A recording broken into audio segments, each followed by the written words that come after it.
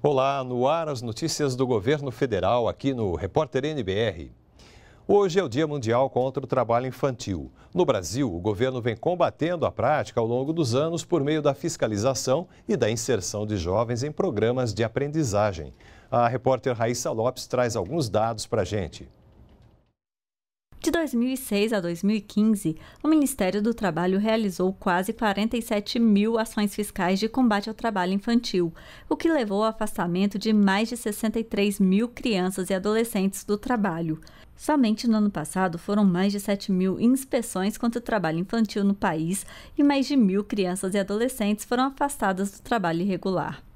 E para proteger crianças e adolescentes do trabalho infantil, o Ministério do Trabalho lançou hoje, no Museu do Amanhã, no Rio de Janeiro, uma campanha nacional sobre o tema dos atos mais relevantes da campanha contra o trabalho de crianças e adolescentes foi a assinatura de um acordo de cooperação com três entidades contra a prática ilegal.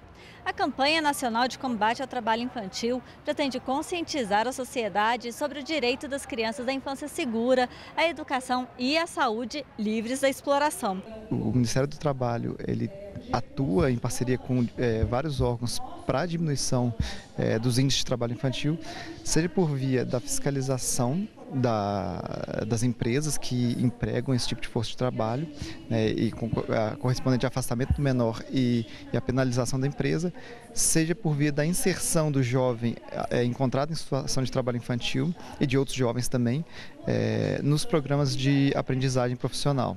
No Brasil, o trabalho é permitido a partir dos 14 anos apenas para os chamados aprendizes. A condição é diferente da do trabalho infantil, que é proibido. O aprendiz deve ter um contrato de trabalho especial ajustado por escrito e por prazo determinado.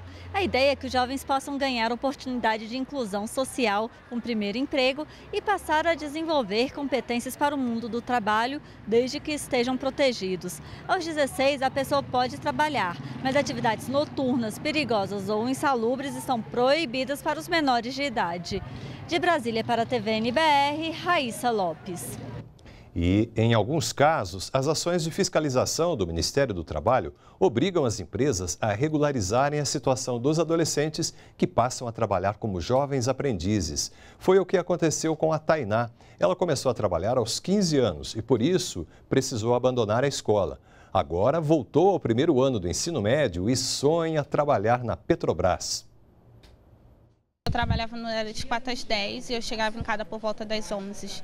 E eu estudava de manhã, então para mim eu acordava muito cansada, porque tinha às vezes que eu chegava na, no trabalho às 2 da tarde para uma reunião e eu só saía às 10. Tive que abandonar a escola por trabalhar demais. Hoje eu consigo conciliar a escola com o trabalho, porque eu trabalho só 4 horas por dia, de segunda a sexta. E olha, uma informação importante, hein? É possível fazer denúncias sobre trabalho infantil nos postos de atendimento do Ministério do Trabalho e também por meio do Disque 100, o Disque Direitos Humanos. E já no clima da Copa do Mundo, o Banco Central inaugurou em Brasília a exposição Valores do Futebol. Acompanhe. Os visitantes podem conhecer detalhes sobre as moedas usadas nos 32 países que participam da Copa do Mundo FIFA 2018, além de ter informações sobre a história do esporte na Rússia, país sede do torneio em 2018. Você lembra qual era a moeda em cada Mundial de Copa do Mundo? Pode descobrir lá. Olha só, essa é uma das atrações.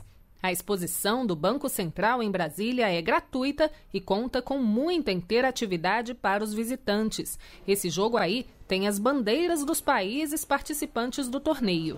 Crianças e adultos podem colorir os painéis com grafismos tradicionais da cultura russa, como a famosa boneca matrioska. Eu estou pintando uma bola, uma boneca, várias cores. De moeda, de dinheiro, de, de também também futebol, tem várias, é por isso que eu gostei. Parece que o pessoal gostou bastante. Se envolveu com os textos, com o acervo, a gente viu o pessoal olhando com atenção cada parte da exposição e um envolvimento especial com as peças interativas, em que você desenha, brinca com as bandeiras, mexe com moedas do mundo inteiro. Então a gente viu que o pessoal se envolveu bem. O público-alvo são crianças de 8 a 12 anos, mas todas as crianças, na verdade, inclusive nós adultos. Né? A ideia mesmo era que as pessoas enxergassem esse conteúdo que a gente queria apresentar de uma maneira mais descontraída, mais lúdica.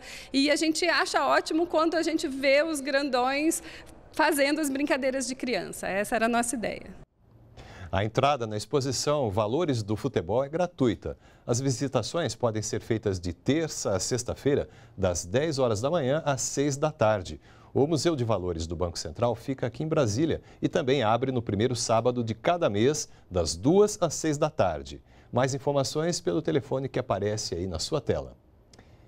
Vamos agora falar de educação, porque estão abertas as inscrições para o Sistema de Seleção Unificado, o SISU. Por meio do sistema informatizado do Ministério da Educação, instituições públicas de ensino superior oferecem vagas aos estudantes com base nas notas obtidas no Exame Nacional do Ensino Médio, o Enem. Os interessados devem ficar atentos ao recado da repórter Gabriela Noronha. Nesta edição, o SISU vai oferecer mais de 57 mil vagas em 68 instituições. Pode concorrer quem fez o Exame Nacional do Ensino Médio em 2017 e tirou a nota da redação acima de zero, como é o caso da Tainá, que já está aqui fazendo a inscrição e quer ingressar no curso de enfermagem. Tainá, por que, que você escolheu esse curso? Na realidade, o curso que eu quero mesmo é medicina. Só que a minha nota ainda não foi suficiente para eu poder me candidatar. Então, eu escolhi uma área que é mais próxima à área da saúde, que foi enfermagem. E ainda vou continuar tentando é, cursar medicina, tanto aqui no Brasil quanto fora. E você acha que o SISU ele dá mais oportunidades para quem quer ingressar numa universidade pública, é, em universidades estaduais? Sim, eu acho que é uma oportunidade é, única para quem não tem certas condições de pagar uma universidade particular ou até mesmo fazer um curso no exterior.